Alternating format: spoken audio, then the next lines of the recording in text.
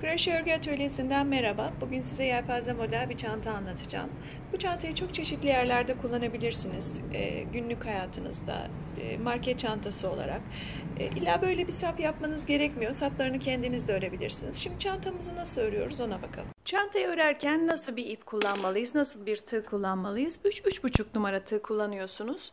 E, pamuklu makrome ipler çantalar için çok uygun ama onları alamıyorsanız Normal işte 3,5 numarayla örülebilecek bir ipi ya da 4 numarayla örülebilecek bir ip idealdir. Ama onu 1 numara küçük tığla örün. Yani 4 numarayla örülebilecek bir tığ 3 numarayla örün ki çantanız çok gevşek olmasın. Her zaman 1 numara küçük tığ kullanın çanta örerken. Altının katları şeklinde zincir çekiyoruz. Ben şu anda ya enini dilediğiniz ölçüde tutabilirsiniz. Ben 36 tane zincir çektim. Çok küçük bir taban oluşturacağız. Yani bu çantanın tabanı çok büyük olmayacak. Şöyle başlıyoruz. 36 zincirimiz var. Şu son zinciri elimizle tutuyoruz. 1 2 Bu zincir boşluğunun içine bakın 1 aynı boşluğun içine çalışıyorum. 2 3 İlk başlangıç zincirimize 3 tane zincir çektik. E, pardon, trabzan yaptık. Sonra yan boşluğa, yandaki zincir boşluğuna bir tane, onun yanındakine bir tane. Yani buradaki kaç tane zincir çektiyseniz, mesela biz 36 tane zincir çektik. 36 tane trabzanımız olacak. Artı başta 3 tane ekstra trabzan. Bu şekilde başlıyoruz. İlk zincir boşluğuna Toplam 3 tane trabzan yaptıktan sonra yandaki bütün zincir boşluklarına birer tane trabzan yaparak böyle bu şekilde ilerleyeceğiz. Bakın böyle gidiyoruz. Şuraya kadar sıra başının sonuna kadar gidelim. Bir püf noktasını söylemeyi unuttum. Zincirinizi çok gevşek çekeceksiniz ki üzerinde rahat çalışabilin. 36 zincirlik bir tabanımız vardı. 36 tane trabzanı mutlaka sayın. 36 trabzanımızı yaptık. Bir de burada ekstradan 3 tane yapmıştık. 39 trabzan var şu anda. Dönüyorum. Son trabzan yaptığım boşluğun içine ekstradan 1 2 3 aynı boşluğun içine 3 tane yine trabzan yaptım. Bakın aynı boşluğun içine 4 tane trabzan olmuş oldu. Son trabzanımı da buraya yapmıştım. Döndüm.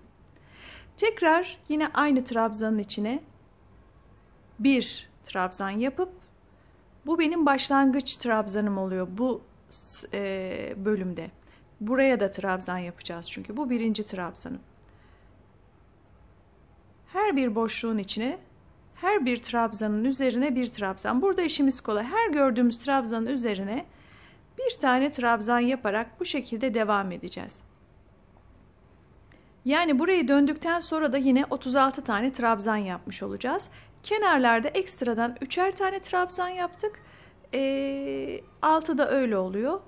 36 burada, 36 burada, 72. 3 burada ekstradan 75. 3 de burada ekstradan 78 tane trabzanımız olmuş oluyor. Modeli de altının katları üzerine oturtacağımız zaten en başta söylemiştim. Şimdi her bir boşluğun içine bu şekilde devam edelim. Evet 77'deyim. 78'i şöyle sonda bir yere yapıp illa hani burada yan yana olmak zorunda. Bulduğunuz bir yere yapın. 78'e tamamlayın. Altının katına tamamlayın daha doğrusu. Yanları böyle oval getirecek şekilde çalışmanızı yapın.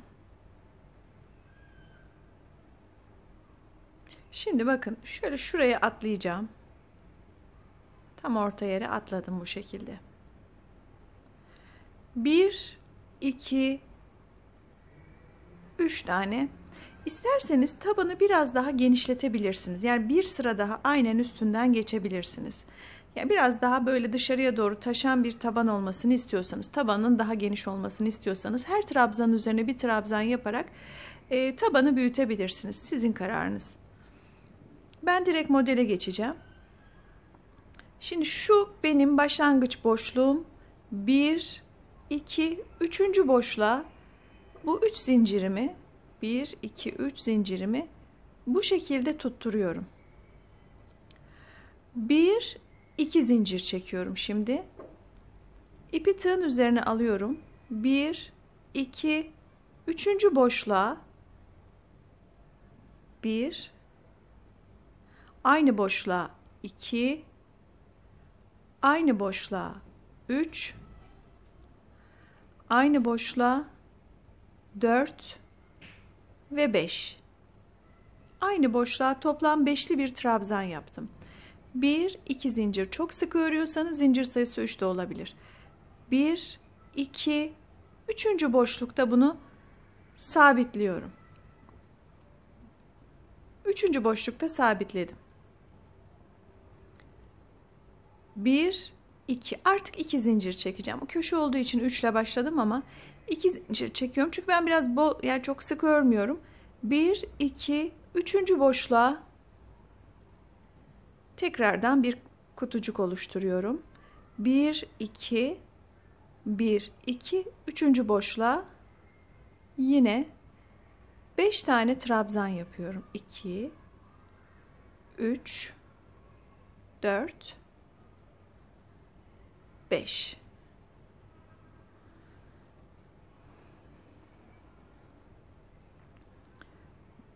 bir iki tane zincir çektim.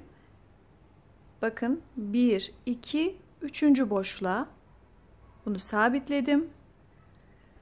1, 2 zincir, 1, 2, 3. boşluk. Tekrar 2 zincir, 1, 2, 3. boşluğa yine 5 tane trabzan. Metodu anladınız. 5 trabzan yaptıktan sonra 2 atlayıp 2 zincir çekip 2 atlayıp bir sık iğne, sonra 3 zincir 2 atlayıp bir sık iğne. Sonra yine 2 zincir 2 atlayıp 5 tane trabzan yapıyoruz. 2 zincir 1 2 üçüncüye sabitledim. Böyle bu şekilde şöyle dönerek etrafında gidiyoruz. Şimdi bakın böyle başladım, geldim, döndüm. Son şu yelpazemi yaptım. Başlangıç noktam burası hatırlarsanız bir kafesle başlamıştım. Şurası başlangıç noktam. Şimdi şöyle yapıyorum.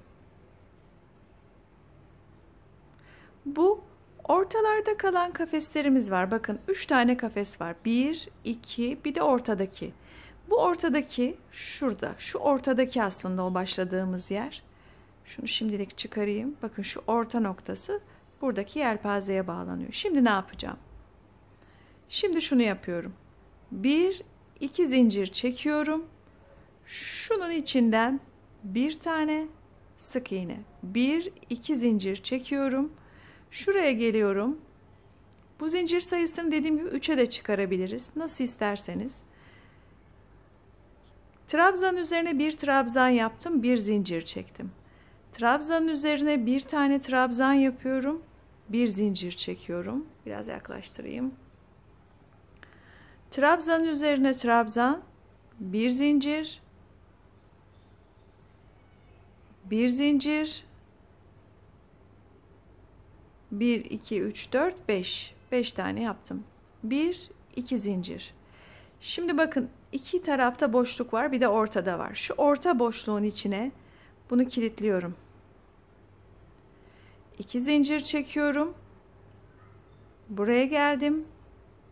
Tekrar aynı metot. Bir trabzan bir zincir. Bir trabzan bir zincir. Çok kolay aslında model. Doğru kafanızda oturtursanız. Yine aralarda iki boşluk var. Ortada da bir boşluk. Bir, iki zincirle orta boşluğa atlıyorum. Bakın şu ortadaki boşluğun içine atlıyorum. Bu arada şu başlangıç noktama bir tane Çengelli iğneyi de koyabilirsiniz. Sorun yok.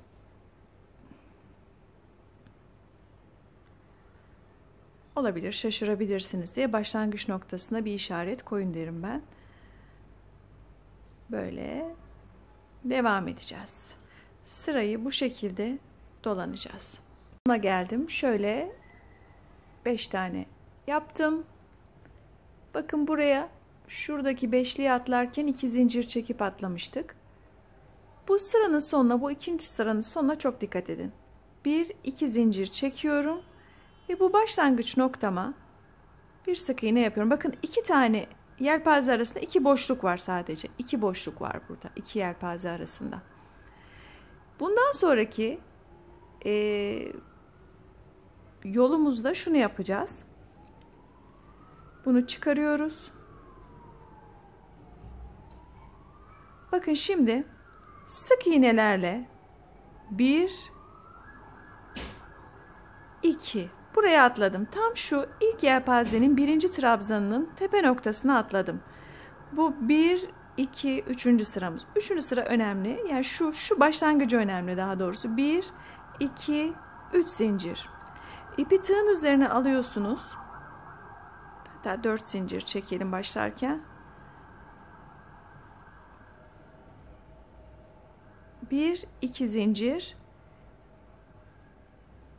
Yine trabzanın üzerine trabzan. Bir, iki zincir. Trabzanın üzerine trabzan. iki zincir ve yine trabzanın üzerine trabzanı yaptınız. Sonra aralara hiç dokunmuyorsunuz. Direkt diğer yelpazeyi şuraya atlayacaksınız. Bakın şuraya atlıyorsunuz. İpi tığın üzerine alıp şuradaki trabzanın üzerine atlıyorsunuz. Bu sırada aralara hiçbir şey koymak yok. Evet atlıyorsunuz ama böyle değil. Trabzan yaparak. 1 2 Bu sıranın metodu bu. Üçüncü sıra metodu.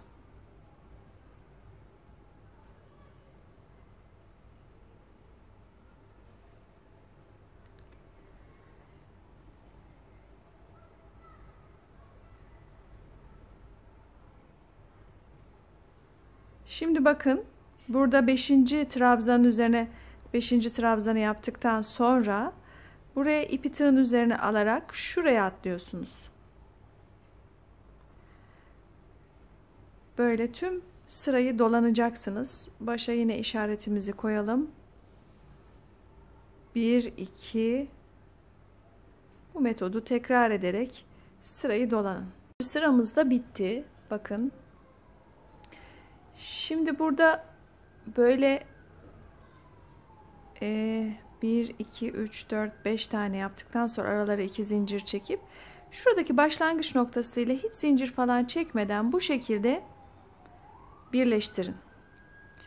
Çıkardınız ipi böyle çıkardınız. Şimdi e, burada bakın 1, 2, 3, 4, 5 trabzanımız var bu e, yelpazenin üzerinde. Şu üçüncünün tepe noktası bizim yeni yelpazemizin yuvası olacak. Ve model aslında birinci sıranın tekrarı olacak bu dördüncü sıramız. Üç sıranın tekrarı şeklinde ilerleyecek. Birinci sırada ne yaptıysak burada onu yapacağız. Ama şöyle. Şimdi ilk başlangıç şuraya tığımızla bir atlıyoruz ortaya ortaya bir atladık. Şu bizim 1 2 3. trabzanımız. 1 2 zincirle bu üçüncü yani orta trabzanın tepesine atlıyoruz. Bunun içine bir başlangıçta birinci sırada ne yapmıştık hatırlarsanız 2 3 4 5 tane trabzan yapmıştık aynı noktaya. Şöyle başlangıcımıza da işaret koymayı unutmayalım. Şuraya işaretimizi yine koyalım. 5. Bakın burada yelpazenin üzerinde bir yelpaze daha aynı hizadalar ikisi de. Aynı hizadalar. İki tane zincir çekiyorum. Ne yapacağım? Arada bir trabzan böyle atlıyorum. Bir trabzanın üstünden atlıyorum şuraya yani ikinci kafesin içine bir tane sık iğne ikinci kafese. Tekrar bir iki zincir çekiyorum. Bakın şuraya bu noktaya arada iki tane trabzan kalacak şekilde şu noktanın içine bir tane sık iğne bir iki hemen şurada buluyorsunuz zaten bakın şurada üçüncü trabzanın tepe noktasına 5 tane 1 2 3 4 5 tane trabzan yapıyorsunuz. Yeni yelpazenizi oluşturuyorsunuz. 1 2 ilk önce hatırlarsanız ikinci kafesimize 1 ikinci kafesimizin içine bir sık iğne sonra 1 2 zincir arada 2 trabzan kalacak şekilde diğer kafese atlayarak ikincisini yaptık. İkinci kafesimizi oluşturduk. Yine 2 zincir çekip şurada tepe noktaya arada yine bir trabzan kalacak şekilde beşli trabzanlarımızı yapıyoruz. 4 ve 5. Aslında birinci sıranın tekrarını yapıyoruz şu anda farkındaysanız. Sadece zeminimiz farklı. Bakın ikinci buraya atlıyorum. Sonra şuraya atlıyorum.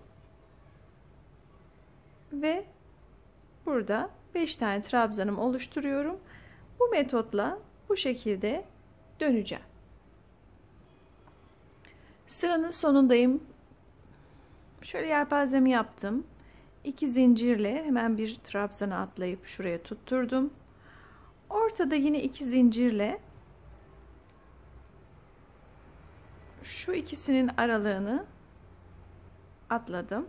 Bakın yine iki yelpazemiz arasında 1, 2, 3 boşluk var. İlk sırada da böyleydi hatırlarsanız. İlk sırada da bu metodu uygulamıştık.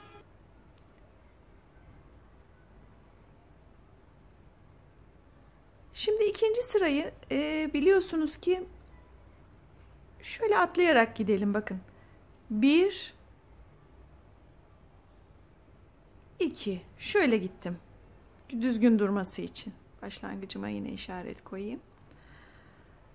1 2 3 4 yaptım. Her bir trabzanın üzerine bir trabzan, bir zincirdi. 1 2 3 İkinci sıra metodunu tekrar ediyorum. Artık anlatmama gerek yok. Ee, üçüncü sırayı da zaten yaptık biliyorsunuz. Tekrar dönüp izleyebilirsiniz eğer unuttuysanız. Son bir göstereyim şurayı. Ne yapıyorduk? 1 2 zincirle 1 2 ortadaki boşluğa kilitliyorduk. Buradan 2 zincirle şuraya atlıyorduk.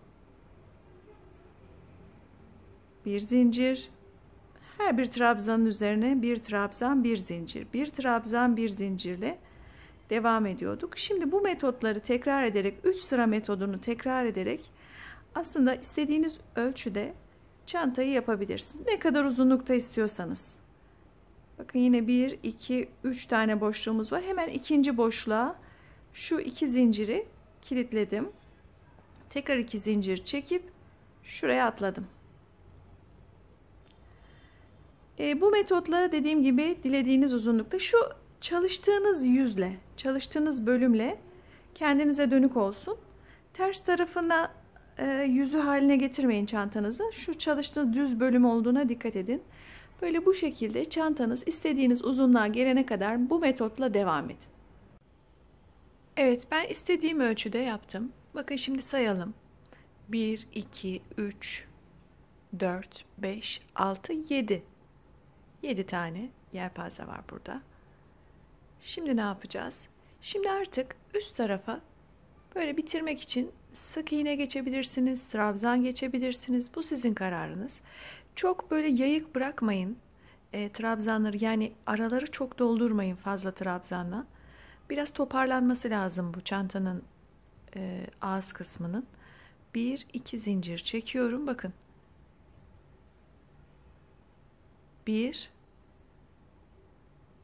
2 tekrar boşluğa giriyorum bir tane şuraya 2 yani e, çok fazla doldurursam iyice yayık bir görüntüsü olur e, çantanın uç kısmının o yüzden Mümkün olduğunca az trabzanlar yaparak bu sırayı bitireceğim. 2 Bakın şimdi şu şöyle çapraz gelen bölümdeyim. Şuraya atlıyorum. Yani e, buraya tekrar yapmıyorum. Şöyle göstereyim. Bakın şuradayım. Şuradayım. Şuraya atlıyorum. 1 2 Bu metotla bütün çevreyi dolaşıyorsunuz. Sıra sonunda görüşeceğiz. Şimdi çevreye döndüm. Şöyle artık şuraya da son trabzanımı yapayım. Ve burasıyla birleştiriyorum. Bir tane zincir çektim. Biraz daha toparlanmış oldu burası. Şimdi ne yapacağım? Şimdi bir sıra daha gideceğim. Bakın bir sıra daha gideceğim. Nasıl gideceğim?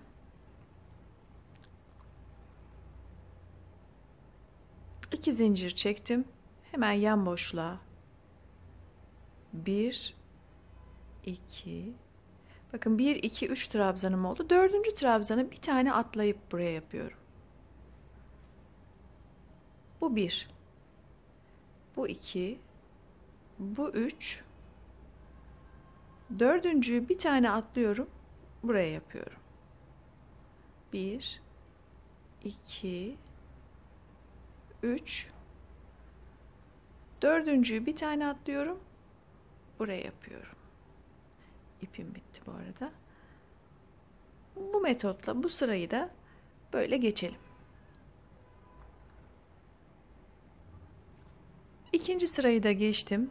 Şurada hemen kapatıyorum. Bakın biraz daha daraldı. Şöyle bir zincire mutlaka sağlamlaştırıp öyle ipinizi kesin. Bu ipi de içeri alırsınız artık. Şimdi yapılabilir bunun sap kısmına? Dilediğiniz şeyi yapabilirsiniz. Yani isterseniz şuradan şöyle yanlardan ya da buradan bir tane sap dikebilirsiniz. Yani örüp dikebilirsiniz. Trabzanlar şeklinde zincir çekersiniz istediğiniz uzunlukta. Her bir zincir boşluğuna